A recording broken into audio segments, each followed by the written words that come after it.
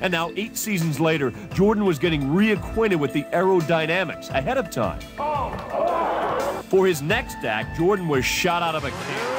Time running down. Jordan from center court. Yes!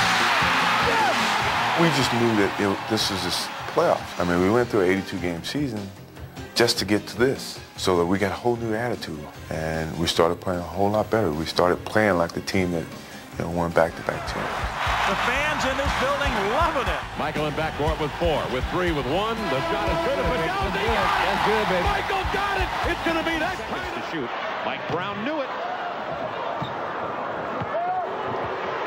This time at half court. Oh, Michael Jordan!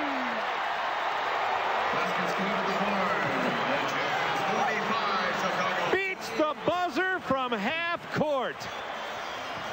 Right into the center circle, and he kind of like regroups so that he can get the thrust of the. Look at that. On the money.